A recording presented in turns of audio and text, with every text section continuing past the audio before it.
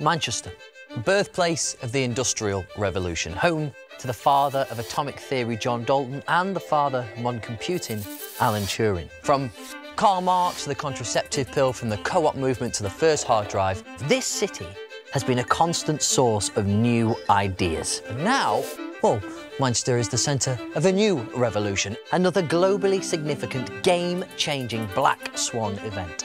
And it's called graphene.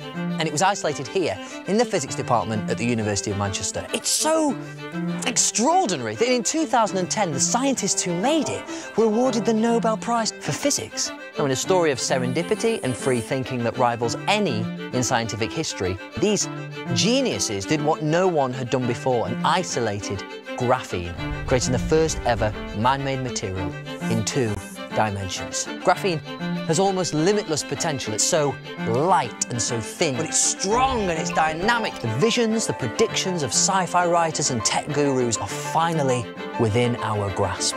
It is a carbon sheet, one atom thick, but 200 times stronger than steel. It's the lightest, most conductive man-made material on Earth. It can be used for DNA sequencing at a nanoscopic level. It can be programmed to attach itself to specific cells, like cancer cells, which will revolutionize medicine.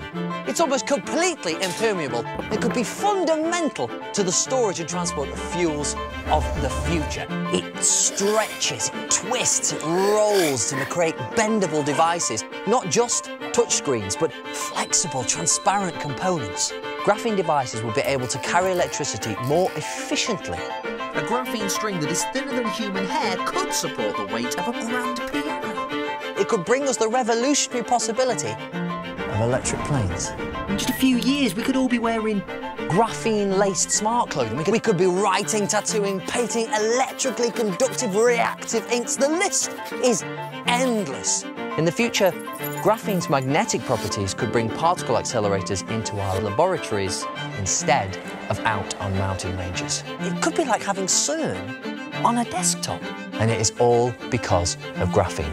And it was discovered here at the University of Manchester lab in a city that has always encouraged new ideas. The material of the future in a revolutionary city. It's a free exchange of ideas in a city of innovation. I mean, wow. See, for this city, it's not so much a question of where do we start. It's more about where do we go next?